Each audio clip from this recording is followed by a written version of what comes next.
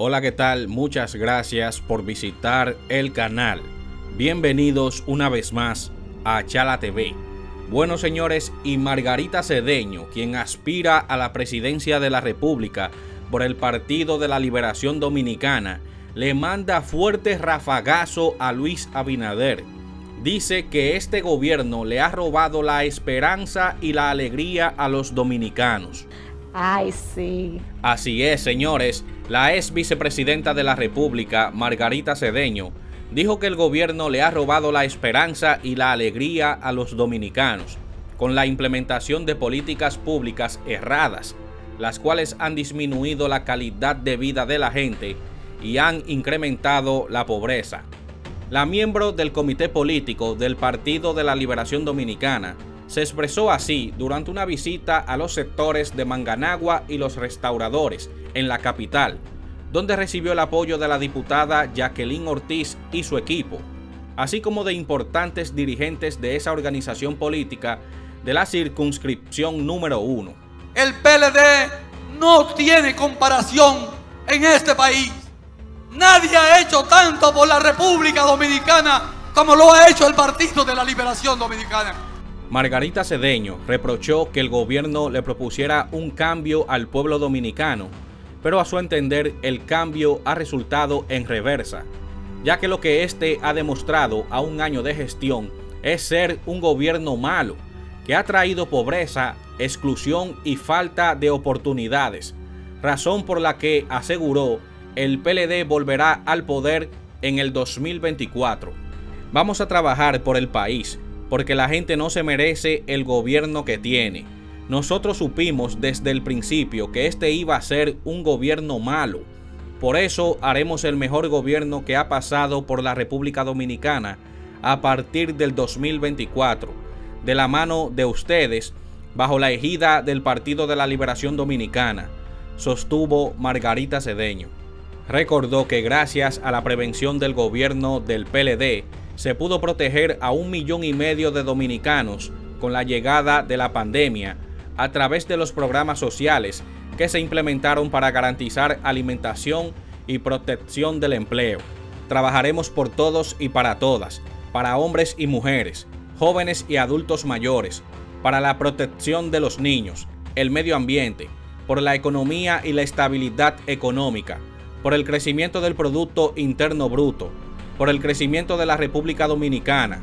Trabajaremos por el orden, la institucionalidad y por los dominicanos y dominicanas que merecen volver a ser felices y volver a tener esperanza para sentirse motivados, dijo Margarita Cedeño. Perdimos las elecciones pasadas porque yo siento que la gente se cansó de bienestar. Era necesario que esto pasara porque nosotros estamos escuchando el clamor de la gente y sabemos de la escasez, de las carencias a que están sometidos, a la falta de empleo, la falta de alimento, la falta de trabajo en general, la carestía de los precios, entre otras muchas cosas. Y no me hablen, y no me hablen que todo se debe a la pandemia, porque yo también dirigí cerca de seis meses del país cuando comenzó la pandemia en sus tiempos más difíciles. La dirigente del PLD sostuvo también un encuentro con jóvenes estudiantes y emprendedores de la comunidad donde escuchó sus inquietudes y necesidades.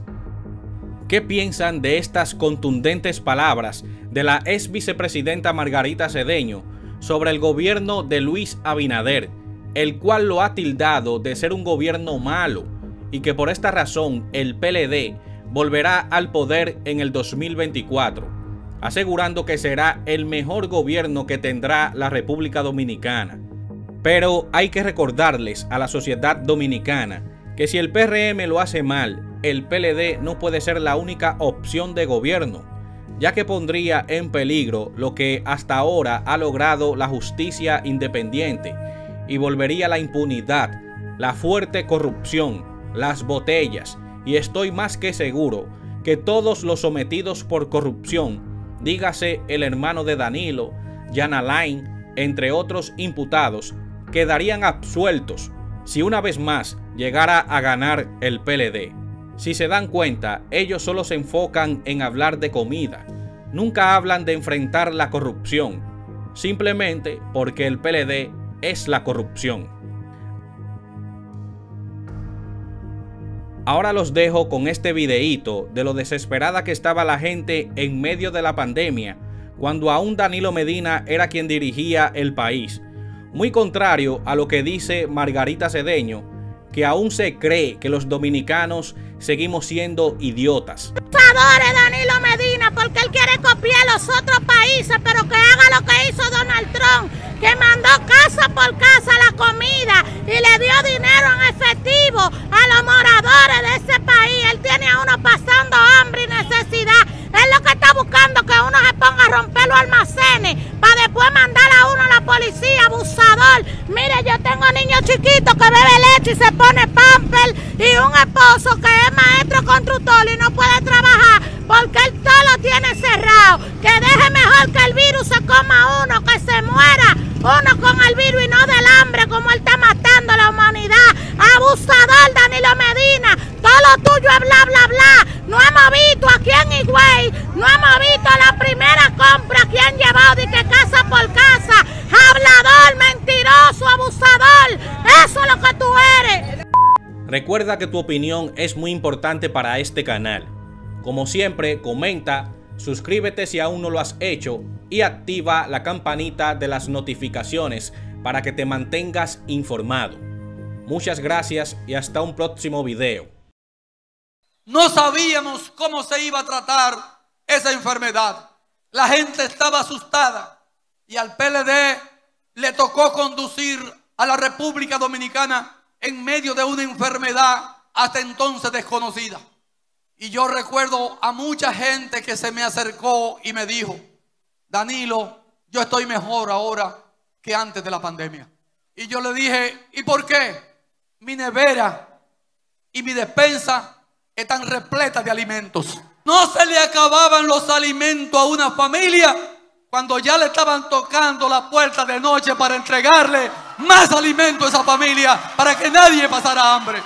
Pero si, eso, como si eso fuera poco, cuando yo me fui, había creado el programa Quédate en casa. Había creado el programa para ti. Había creado el programa fase 1 y fase 2. Y le entregaba entre 5 y 8 mil pesos a 2 millones 500 mil familias en la República Dominicana. Entonces no podía haber hambre en el país porque yo me ocupé personalmente de que nadie pasara hambre mientras estaba encerrado en su casa. Eso es un partido que trabaja por la gente, para la gente y con la gente. Y eso será lo que volverá a ser el PLD desde la presidencia de la República.